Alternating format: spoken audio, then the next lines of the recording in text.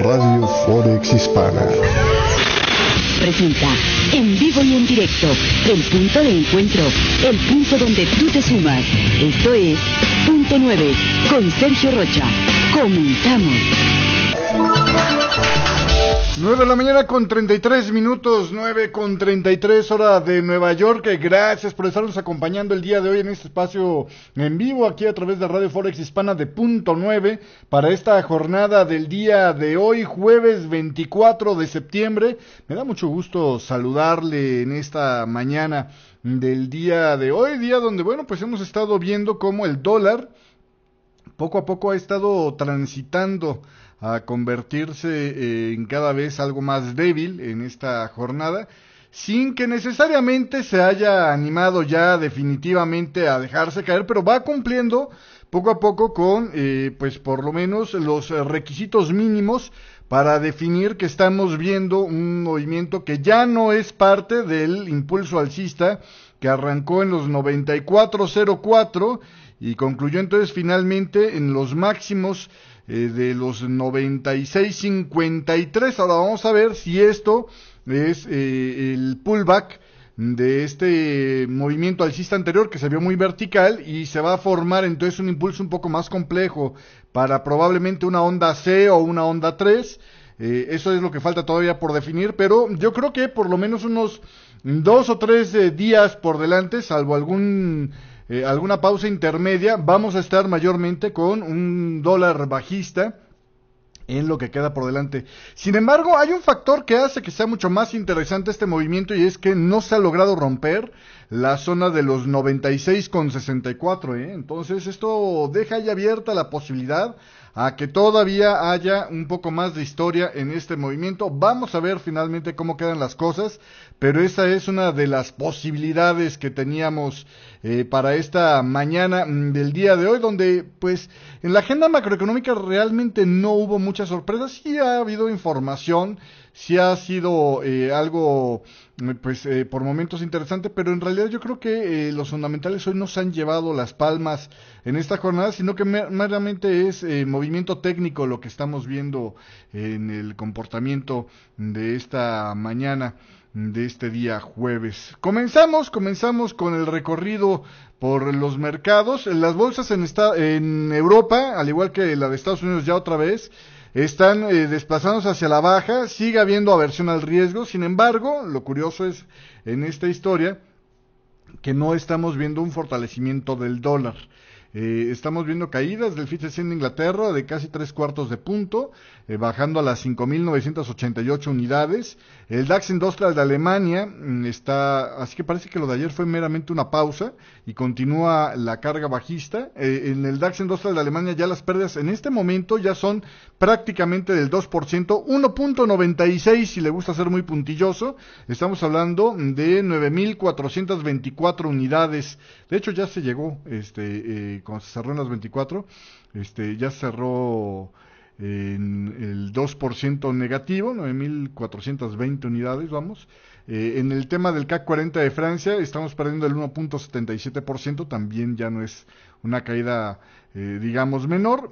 Estamos hablando de 4.354 puntos en esta mañana la cotización para el CAC 40 de Francia. Retoma el trade en la bolsa de Japón, el Nikkei 225 de Tokio, pues se pone al día con las pérdidas básicamente, cae el día de hoy un 2.76% y se regresa hacia la zona de las 17.571 unidades, mientras que en Australia el Standard Poor's asiático curiosamente quedó en positivo 1.3%.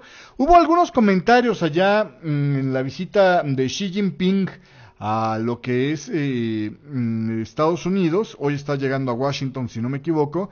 Eh, dentro de esta gira que está haciendo en Estados Unidos, donde se mostró el día de ayer un poco más eh, abierto a, algunos ajustes, ya lo vamos a estar platicando un poco más adelante, y esto parece que le dio algo de sustento precisamente a los commodities por un lado, y a los mercados australianos. Además que también ahí por esa zona, eh, Fonterra, la principal compañía de lácteos allá en Nueva Zelanda, que para ellos los lácteos es así como, eh, pues eh, digamos, la materia prima de su economía, este, eh, también mejoró ahí las previsiones para eh, el sector eh, para este año y el año que viene. Entonces todo esto inundó un poquito de optimismo por esa zona y por eso es que estábamos viendo ahí las acciones en el Standard Poor's asiático probablemente con ganancias del 1.3%.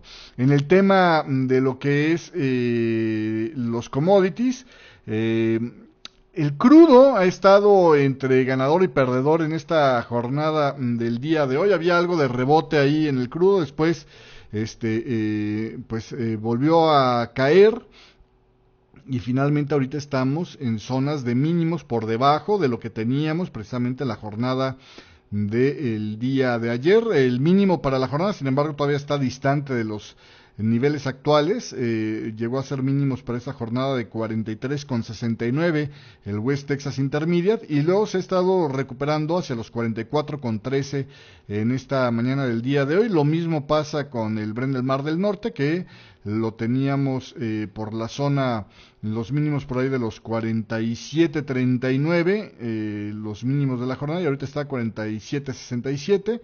Entonces estamos viendo ahí, eh, creo que la vez pasada también le acabo de comentar los datos de...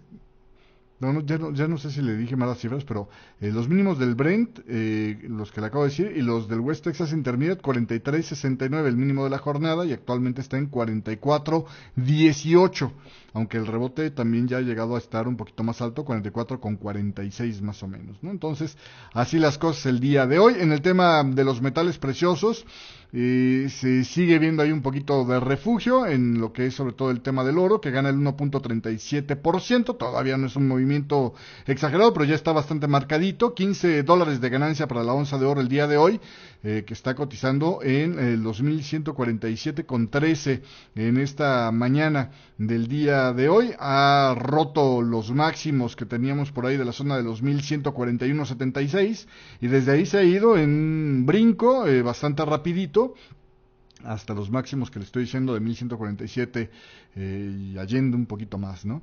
En el tema de la plata eh, está mucho más eh, parco el movimiento, cosa curiosa, ¿no? Normalmente la plata no está tan parca. La plata viene rebotando de ese retroceso que se hizo, o al menos de esta fase de retroceso, porque todavía no está claro que se haya terminado, que se hizo de los mínimos de los 14,70, ¿no? Esto fue eh, hasta el día de ayer y el día de hoy ha estado más o menos intentando hacer máximos un poco más altos, sin embargo no ha tenido el arrastre que está teniendo el oro clarísimamente, ¿no? En el tema de lo que es el dólar index, el día de hoy, eh, pues le digo, se aceleró ya un poquito más eh, la caída, ya el movimiento es lo suficientemente amplio como para decir ya no es parte de esa alza que estábamos viendo desde la zona de los 94 y está perdiendo en esta mañana el punto 42%, está cerca de ser ya un día de movimientos grandes, eh, cotizando en 95,78. Y en el tema de las monedas de América Latina con respecto al dólar, bueno, pues este no le está significando un descanso a las monedas de América Latina. Hoy traemos una depreciación del punto 94% en el peso mexicano, que ya con esto, bueno, pues más que rebasa. Ayer decíamos que rebasaba los 17, hoy estamos bien entraditos en 17 con 28 eh, eh, la cotización en este momento. Ha tenido máximos en esta jornada, eh, estamos muy pegados a ellos, de 17 con 34, ¿no? Entonces, pues ahí poco a poco mm, otra vez fue presionando hacia el alza y ya con esto está haciendo nuevos máximos históricos el peso mexicano, el dólar con el peso mexicano sería bueno, ¿no? El dólar con respecto al peso mexicano, lo cual ya nos confirma entonces la idea de que lo que vimos como retroceso en forma de un zigzag un poco más pausado fue la onda 4 y estamos ahorita en la onda 5 como lo habíamos estado anunciando pues prácticamente mm, desde esta semana que eh, desde este domingo que se vio ese movimiento y obviamente este, ya se empezaba a prever eso desde que estábamos en esta fase de corrección de onda 4 cuando terminó el retroceso hacia la zona de los 16,36 o en lo que terminó siendo el retroceso hasta los 16,36. En el tema del peso colombiano también está bien presionado el día de hoy. Estamos hablando de un 2.20% de devaluación eh, el día de hoy. Nuevamente le vuelve a pegar fuerte, ¿no? El, movimiento ahí a esta moneda. Este todavía no rompe máximos eh, recientes, eh, los máximos siguen siendo en la zona de los eh, 3.261, actualmente estamos en 3.150, pero parece que va para allá, que vuela, ¿no? Parece que se formó ahí. Si a usted le gusta el trade armónico, por ejemplo, y no le gustan las ondas de Elliot, si le gusta algo más simple, este, pues digamos que eh, se hizo por ahí una especie de Garly, que ya terminó, y entonces ahora pues viene la contrarreacción, ¿no? Viene el movimiento eh, a comerse ese movimiento. Eh, precisamente mm, hacia el alza. En el tema de lo que es eh, el peso chileno también se está debilitando, tres cuartos de punto porcentual, estamos hablando de 708,25 eh, pesos chilenos por dólar. En el tema del peso argentino, bueno, dicen que nada más se movió 0.08% el día de hoy, ¿usted quiere? Eh, 9.3940, ¿no? Eh, la cotización oficial, obviamente la oficial, el sol peruano también eh, lo deslizan solamente el 0.08%, ya mañana se pondrán a mano, eh, por lo pronto está subiendo a 3.2125 eh, soles por dólar. En el tema del peso boliviano, estamos también viendo una mm, depreciación muy ligera que le ponen el día de hoy. Para el día de hoy, del punto 15%, ya se pondrán a mano más adelante. Por lo pronto es 6.86 la cotización que marca en el día de hoy. Y en el dólar yuan, movimiento del punto 09%, son 60 pips los que se han movido hacia el alza del dólar yuan. Eh, en el momento actual tengo una cotización de 6.3815 para esta moneda. Vámonos a un corte comercial y regresamos enseguida con más en esto que es punto 9, ya con los detalles de los fundamentales que se publicaron en esta jornada del día de hoy. Regresamos. Punto 9. Lo hacemos juntos.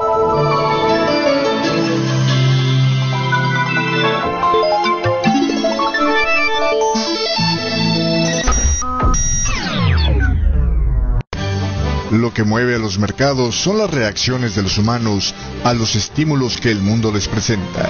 Desde finales de la Gran Recesión, Nelson Elliot identificó estos comportamientos como un grupo de patrones identificables y cuantificables. Aprenda a reconocer estos patrones y obtenga la clave para identificar los puntos críticos para desarrollar nuevas tendencias. Tome hoy el curso de Ondas de Elliot de 7 pasos. Entre a www.ondaseliot.com y aumente sus probabilidades de éxito. www.ondaseliot.com Nota importante, Elliot se escribe con doble L y doble T. Punto 9. Conducido por Sergio. Y básicamente el día de hoy la historia es la fortaleza del euro que está ayudando a inducir debilidad en el dólar, ¿no? Es eh, la, la historia del día de hoy. ¿A qué se debe esta fortaleza? Bueno, mayormente puede ser debido a que James Bittman, el miembro del Consejo de Gobierno del Banco Central Europeo, dijo en un discurso este miércoles que aunque la política monetaria acomodaticia es necesaria actualmente, el miércoles por la noche lo dijo, o tarde para nosotros los americanos, no debería de continuarse con ella más tiempo de lo absolutamente necesario, Así lo señaló, la política monetaria expansiva no debería de continuarse más de lo absolutamente necesario. Y esto al parecer fue eh, interpretado por el mercado como una señal, ¿no? De que, eh, pues, él no estaría apoyando más relajación monetaria allá en la eurozona. Yo creo que es un error esa interpretación, pero parece que la mayoría del mercado está eh, anotándole esta idea, ¿no? Este, el comentario de esta interpretación de los comentarios de eh, James Bittman, espero que no me lo haya perdido con esos comentarios, este, eh, eh, lo leí por primera vez esta mañana con Katy Lien, ella creo que lo escribió el día de ayer en la tarde, pero yo lo leí hasta hoy en la mañana, y este, me parece que se, eh, es la mejor explicación que hay a este movimiento, porque fuera de eso, la verdad es que no habría razón por la cual ver eh, a un euro relativamente más fuerte en medio de toda esta catombe que se está viviendo, ¿no? Eh, si usted, por ejemplo, revisa los principales pares con respecto al euro, verá que el euro está ganando en esta mañana prácticamente con todos menos con dos que es con respecto al yen japonés eh, y con respecto a el franco suizo que bueno pues ahí razones más que sobradas, ¿no? Pero de ahí en fuera, eh, en el franco suizo y en el yen japonés por razones de refugio, pero de ahí en fuera, con todos los demás está ganando y está ganando por bastante, ¿eh? Eh, con respecto a la corona noruega, 2.28%, contra el real brasileño 1.89%, contra la lira turca 1.69%, con respecto al peso mexicano 1.66%, con respecto al dólar canadiense este 1.18%, contra la rupia india 0.97%, contra el forinto húngaro punto 91 contra eh, ese ya no sé qué sea pero este vamos. Con respecto a la gran mayoría está ganando este fuerte. El eurodólar el día de hoy está ganando punto 72 o sea ya es un movimiento amplio eh, sin ser necesariamente exagerado ya es un movimiento amplio para por ejemplo el tema del eurodólar en fin no entonces eh, todo esto nos da la idea de que hay una fortaleza el día de hoy del de, euro que está ayudando a inducir debilidad en el dólar en general, ¿no? El dólar index, eh, pues le digo, está cayendo ya eh, fuertecito en esta jornada del día de hoy y eh, pues de alguna manera, sobre todo, ¿sabe contra quién tiene la principal debilidad con respecto al franco suizo que el día de hoy se ha desplazado ya 94 pips este cruce mm, de el dólar franco eh, en este decline que ha hecho de 94 pips para esta jornada del día de hoy. Por ahí, le decía yo, se veía bastante el lentón, ¿no? El movimiento alcista en la charla de esta mañana, y le decía, y pareciera ser que el movimiento este bajista que se dio fue fuertecito, y, y creo que la señal de venta estuvo bastante clara en el fallo, en alcanzar para los intradiarios, en el fallo en alcanzar la zona de los 97.70, ¿no? Se quedó por ahí quieto, no logró igualar las resistencias que había dejado en el pullback de los 97.86 y ese era el grito de vámonos para abajo y desde entonces, eh, digamos, rompiendo los soportes que estaban por ahí de los 97.47, ya lleva ahorita unos 58 pipsucos, pero con la mano en la cintura, ¿eh? tranquilito y parece que ahorita otra vez una fase de aceleración. Entonces, pues esto es básicamente lo que tiene el día de hoy el dólar franco eh, en esta jornada. Y todo esto, le digo, bueno, pues pareciera ser que viene precisamente esto. Le digo, entonces el Banco Central Europeo lleva a cabo eh, pues este programa de expansión cuantitativa, pero pues los comentarios de Bitman parecieron eh, enfriar un poco más a, esta idea. Dicen que desde el principio eh, Bitman se está oponiendo a esta medida cuando la acordó en el mes de enero, sin embargo ahora admitió que sí, que las condiciones económicas exigen una política de dinero fácil ahora, pero que no se extienda más allá de lo mínimamente indispensable dice el señor James Whitman el día de hoy. Y todo esto ha traído esa debilidad, ¿no? En esta jornada del día de hoy. Continuando con más información, fíjese usted que en el tema de los fundamentales para Estados Unidos, se dio a conocer que los pedidos de bienes duraderos se redujeron en agosto un 2% mensual en términos ajustados, según los datos del Departamento de Comercio, lo que indica que la fortaleza del dólar y la inestabilidad económica en el extranjero podrían estar afectando negativamente la demanda de productos fabricados en Estados Unidos. Los nuevos pedidos de bienes duraderos eh, que son objetos diseñados para durar por lo menos tres años, eh, se revisaron a la baja y quedaron en un incremento del 1.9% frente al aumento del 2.2% del dato provisional. Los economistas estaban esperando que los pedidos bajaran en agosto 2.5%. Entonces, bueno, pues ahí tiene usted lo que dice el día de hoy, los bienes duraderos caen 2% en el compartido mensual de agosto y eh, pues eh, los de julio se revisaron a la baja y quedaron en un 1.9% frente al aumento del 2.2 que habían dado provisionalmente. Ahora vamos a ver cómo nos revisan este dato en los próximos días. Continuando con más en la eurozona, fíjese usted, eh, pasó algo interesante. La confianza de los directivos de empresas alemanas se incrementó más en septiembre eh, sin cambios ante el debilitamiento de la perspectiva de crecimiento de China y otras grandes economías en vías de desarrollo. El Instituto de Análisis IFO dijo este jueves que su índice de confianza empresarial aumentó en septiembre a 108.5 frente al dato revisado al alza de 108.4. Los economistas estaban esperando una caída al nivel de 107.9.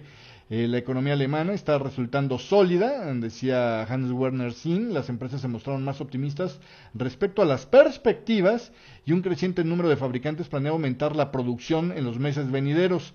Eh, lo curioso aquí, ¿no? Es eh, que la percepción parece ser un poco más optimista, pero la situación actual no está tan buena, ¿no? Entonces, eh, normalmente pasaba al revés, ¿no? Estábamos acostumbrados a una serie de datos en el pasado donde por lo general lo que venía por delante era lo bueno y las condiciones actuales estaban del nabo. Ahora no, ahora es al revés, lo que viene por delante está, está bien y las condiciones actuales son las que están incómodas, ¿no? Entonces, bueno, pues en fin, este, creo que lo dije mal, ¿no? Lo que, lo que había lo que es el momento actual, antes era eh, lo que todavía estaba bien y lo que venía por delante se veía pesimista, ahora se ve optimista el futuro y en el momento actual pesimista, ¿no? Eso es básicamente la idea. Eh, este optimismo eh, podría influenciar, porque obviamente las decisiones de contratar más gente, de recibir más, de hacer más pedidos, y por lo tanto las otras compañías de recibir más pedidos, etcétera, eh, se basan en lo que tú proyectas por delante, no en lo que ya pasó necesariamente, ¿no? Entonces, eh, habrá que ver si este escándalo de la Volkswagen no viene a nublar este panorama de optimismo que reflejó este IFO, al menos en este mes. Eh, vamos a ver cómo se comporta por lo pronto en lo que es la parte eh, mm, de las eh, próximas revisiones, pero en el momento actual el subíndice de perspectivas para los próximos meses aumentó a 103.3 en septiembre. Sin embargo, las empresas se mostraron menos optimistas sobre la situación actual ya que el subíndice de datos bajó a 114 desde los 114.8, es decir, Ahora el hoy está más feo que lo que se espera por delante. Vamos a ver si lo de Volkswagen no nos pone feo hoy y feo mañana también, ¿no? Pero en fin, así las cosas el día de hoy. Por cierto, el índice del clima del consumidor publicado por la GFK, que siempre es en adelantado, ¿no? Este, el de octubre descendió a 9.6 frente al pronóstico de 9.8 que se tenía en la previa. Eh, dice la información de la GFK de este jueves, a pesar de la reducción de todos modos de este dato, se trata de aún la segunda mejor evaluación de este clima del consumidor en por lo menos los últimos dos años, ¿no? Entonces, se está enfriando un pelito, pero todavía no es algo que tú digas ya marcó tendencia, puede ser meramente un rebotito. Continuando con más eh, información, en Japón, fíjese usted que el índice general de actividad industrial japonesa aumentó punto 2 frente al pronóstico de punto 1 que se tenía. Se elevó así más de lo esperado este informe dado a conocer por el Ministerio japonés de Economía, Comercio e Industria. Eh, el aumento de la previa había sido del punto 5, que a su vez venía desde un aumento de un punto 3. Los analistas estaban esperando, le digo, que el índice general de actividad industrial japonesa subiera solo el punto 1 y subió subió el punto 2. Y en Estados Unidos el número de estadounidenses que pidieron ayuda por primera vez por desempleo aumentó la semana pasada, aunque eh, sigue siendo eh, consistente con un mercado que crea empleos de forma estable todavía este dato. Las peticiones iniciales por ayuda del desempleo aumentaron en 3.000 hasta un dato ajustado de 267.000 la semana finalizada este 19 de septiembre, señaló el Departamento del Empleo. Los economistas estaban estimando un total de 275 mil nuevas solicitudes. Y en Francia la confianza empresarial de septiembre quedó mejorando a 104 desde los 103 de agosto. El mercado estaba esperando que quedara en 103 el dato de septiembre, quedó en 104. Bueno, pues así las cosas el día de hoy. Vámonos a un corte comercial y de regreso. ¿Sabe cuánto lleva hasta ahorita el programa este de financiamiento de largo plazo? Esos créditos que tienen fecha de vencimiento en septiembre del 2018. En un rato le digo regresando del corte y además Draghi asegura que el Banco Central Europeo no estará en la troika para siempre, es decir, el tema de la troika pues no es por secula seculorum. Además, los comentarios que pues han estado haciendo rebotar al crudo luego de que pues eh, Xi Jinping dijo, bueno, pues, estamos más abiertos a la inversión externa y esto parece que está poniendo una nota de optimismo en esta jornada, al menos en los mercados asiáticos. Regresamos con esto y más aquí en esto que se llama punto 9.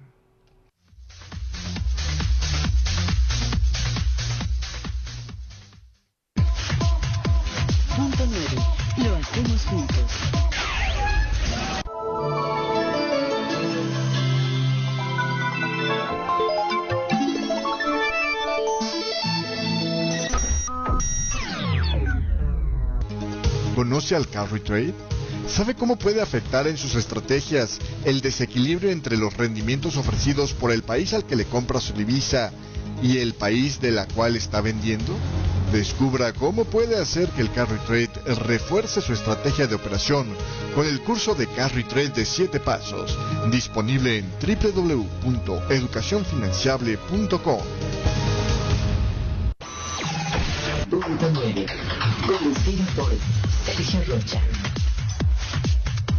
Seguimos con más, 9 de la mañana con 59 minutos. Gracias por estarnos acompañando el día de hoy en este espacio de punto 9 en vivo aquí a través de Radio Forex Hispana para este día de hoy, jueves 24 de septiembre. Seguimos con la información. Le decía yo, fíjese usted, los bancos de la eurozona pidieron prestados 15.500 millones en la línea de crédito del Banco Central Europeo que concede créditos de largo plazo con la condición de que las instituciones financieras aumenten el crédito otorgado a las empresas, señaló este jueves, lo que se conoce como el T-Altro, ¿no? Es básicamente eh, lo que estamos viendo el día de hoy. Y bueno, con respecto a este tema, espérenme porque aquí algo me está dando lata y bien incómodo que está. Ya, este, eh, le decía yo con respecto a este tema, eh, el día mm, de hoy, eh, pues se amplía con estos 15.500 millones que fueron pedidos por un total de 88 bancos. Este crédito que tiene una tasa del 0.05% y vencimiento a septiembre del 2018 coloca ya entonces alrededor de los 400 mil millones la inyección que está haciendo el Banco Central Europeo a través de este programa del TIALTRO, que si usted lo recuerda, pues se dio a conocer en el mes de septiembre del 2014, es decir, tiene ya un año eh, funcionando. El día de hoy fue ya lo que es la quinta colocación, si no me equivoco, de este programa eh, para este esta otra forma ¿no? que tenía el Banco Central Europeo de tratar de inyectar liquidez a lo que es eh, eh, pues el, el, entorno financiero allá en la eurozona. Y hablando de esto, el día de ayer teníamos algunos comentarios desde Mario Draghi que le comenté, inclusive creo que en el espacio de punto 9, pero ya en concreto lo más interesante de la jornada estuvo en la sesión de preguntas y respuestas cuando Draghi pues estuvo defendiendo de eh, pues algunas preguntas de los eurodiputados como la de el eurodiputado griego Botis Maras eh, que eh, pues le preguntó sobre el rol del Banco Central Europeo en la troika y el motivo por el cual sigue formando parte de esto dice Draghi el Banco Central Europeo no va a estar en la troika para siempre eso es seguro lo decía así en esta comparecencia que hizo ante la Comisión de Asuntos Económicos y Monetarios. Y esto es un poquito un, tanto de circo político, ¿eh? ¿eh? sobre este tema que le preguntaban por qué es que la Troika eh, sigue contando con el Banco Central Europeo. Dice, bueno, es que ahora es un tiempo de crisis, ¿no? Decía Draghi, eh, que destacó que básicamente lo que hace el Banco Central Europeo al, al participar en la Troika es eh, cumplir con la legislación existente y eh, pues a él dice no le corresponde, al Banco Central Europeo no le corresponde decidir si se sale o se queda en la troika. Son los políticos los que la pusieron ahí. Cuando le preguntaron cuándo el Banco Central Europeo va a volver a comprar deuda de Grecia como parte de su programa de compra de activos, ahora que este país ha vuelto a aceptar aplicar un programa de rescate, Draghi dijo que bueno, pues sí, eh, el tema de la reinstauración de esa excepción especial que habían hecho para los bonos griegos para comprar deuda de Grecia. Es una medida importante eh, que el Banco Central Europeo tiene que considerar. Dijo que para que un país pudiera beneficiarse de esta opción tendría que estar en un programa de rescate. Una, tendría que estar acometido con este programa y cumplir con las llamadas acciones prioritarias, lo cual podría argumentarse ya, dice eh, Draghi, que eh, pues ya lo cumple Grecia. Sin embargo, hay un punto que queda pendiente y es el análisis de la sostenibilidad de la deuda, un punto sobre el cual, pues dice, el banco tiene todavía serias eh, preocupaciones al respecto. Sin embargo, indicó que con eh, reformas fuertes, un programa fuerte que produzca crecimiento, justicia social y sostenibilidad tanto fiscal como financiera, se abriría el margen para darle o otorgarle nuevamente este alivio a la deuda de Grecia. Y bueno, pues eh, Draghi también se defendió de cuando pues decidió ya no elevarle más el ELA, ¿no? a los bancos de Grecia durante el periodo de mayor tensión, ¿no? cuando fue el corralito, diciendo que no fue su decisión, fue una decisión eh, que lejos de ser política estaba basada en las reglas del Banco Central Europeo. Así dijo las cosas.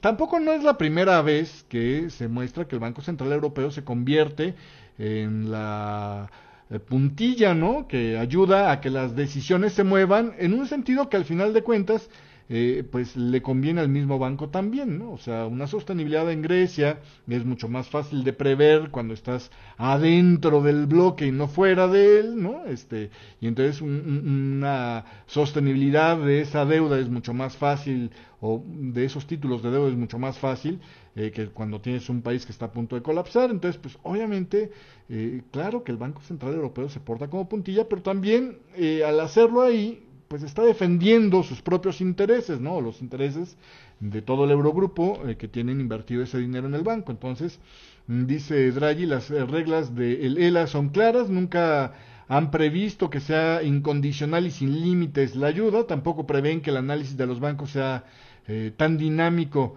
como luego se ha criticado, es decir, que también que reaccione demasiado en, corto plazo.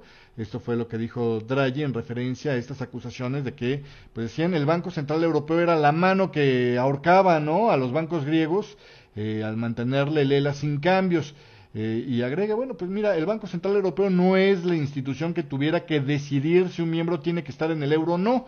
Debemos de trabajar con la asunción de que todos los miembros van a seguir siendo miembros.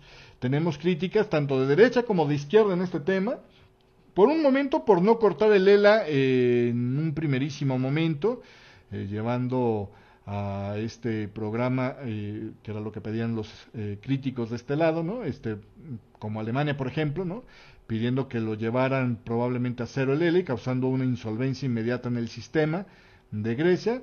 Y luego también tuvimos críticas en cierto nivel cuando decidimos ya mantenerlo y no extender más el programa.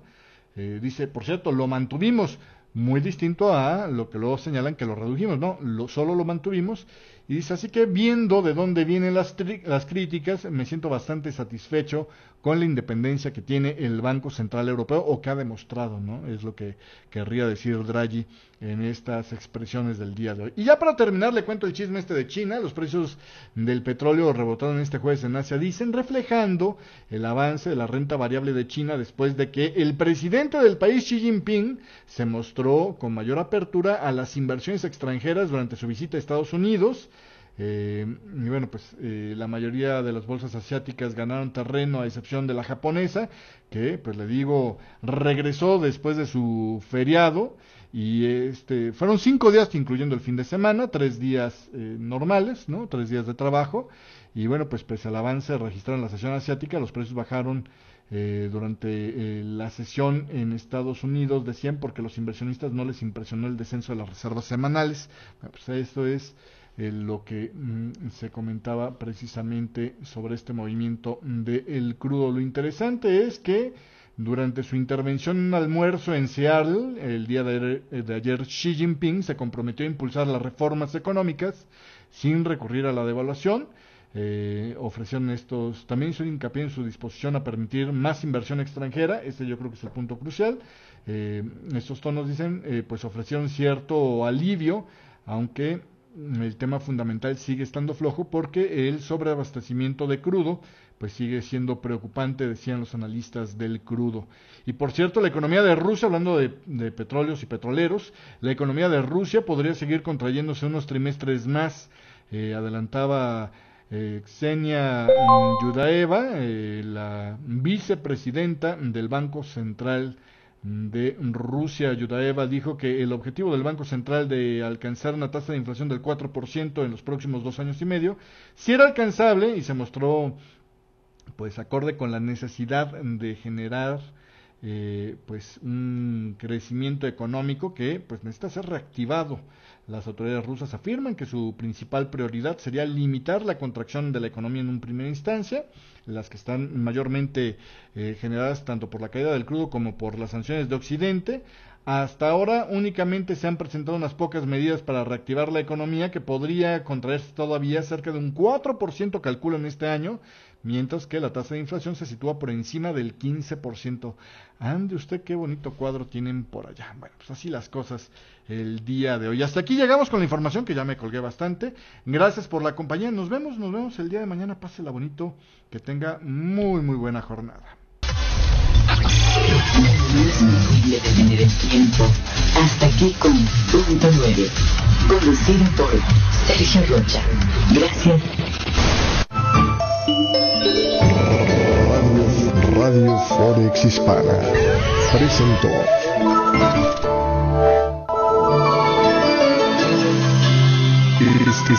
Estás, escuchando Radio Forex Hispana